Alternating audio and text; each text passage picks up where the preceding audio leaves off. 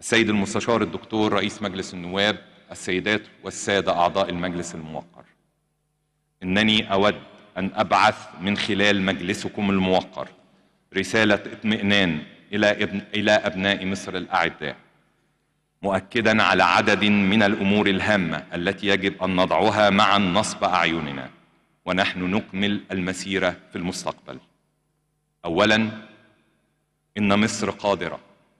وتمتلك من الثروات الطبيعية والبشرية ومن الإمكانيات ما يجعلها قادرة على أن تكمل مسيرتها في المستقبل بكل ثقة واطمئنان.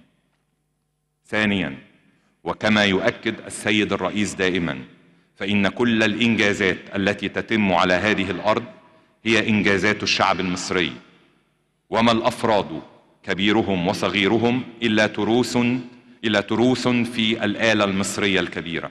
آلة الشعب الذي صنع الحضارة والذي لا يزال يصنعها ثالثا إن التكاتف بين الشعب والحكومة والتماسك الاجتماعي والالتفاف حول هدف واحد هو الوسيلة الهامة لتحقيق النجاح. أؤكد لكم اليوم أن الحكومة سوف تعمل بكل قوتها لتنفيذ توصيات فخامة الرئيس وأن تستلهم من المراجعة المستمرة من مجلسكم الموقر الذي يؤدي دوره الرقابي مسارات لتطوير الأعمال المختلفة. كما أن الحكومة سوف تعمل على متابعة مشاكل المواطنين والتعرف على حاجاتهم والعمل على حلها وسوف نواجه بكل حزم أي تجاوز من جانب الجهاز الإداري أثناء أداء الخدمات للمواطنين. السيد المستشار الدكتور رئيس مجلس النواب السيدات والسادة أعضاء المجلس الموقر. سنضع بين أيديكم وثيقة تفصيلية لبرنامج عمل الحكومة تضم أكثر من 300 صفحة. توضح بشكل جلي مسارات وبرامج عملنا.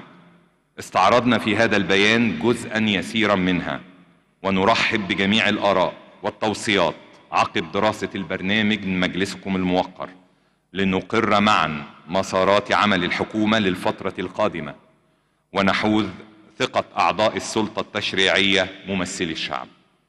تتعهد الحكومة بالالتزام برفع تقارير متابعة الأداء والنتائج إلى البرلمان بشكل دوري لضمان الشفافية والمساءلة وتحقيق الأهداف المنشودة.